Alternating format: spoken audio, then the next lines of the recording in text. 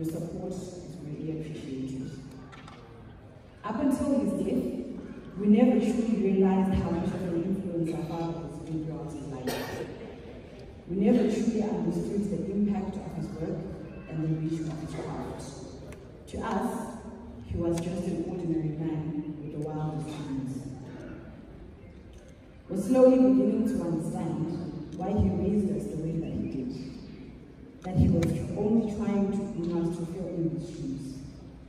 It never occurred to us that we'd have the mammoth task of standing on the shoulders of a giant. I know we won't live up to his reputation. We don't intend to even try. All we can do is create an atmosphere that best preserves his legacy, not only for ourselves, but for all the people whose life he has touched in such a deep and meaningful way. Why, as his children, we would want the Cont Mhlanga Foundation, which will be the custodian and have all the rights to Cont Mhlanga's works. All of his plays, his books, films, training manuals, and any other work created by Cont Mhlanga will be managed and administered by this foundation.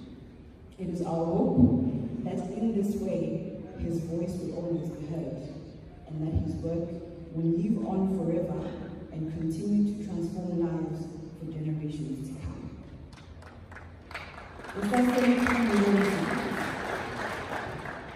The. Support we have received as children has been immense, and we have no words to describe the gratitude we have in our hearts to all who have come together to give this legend the spin-off it deserves.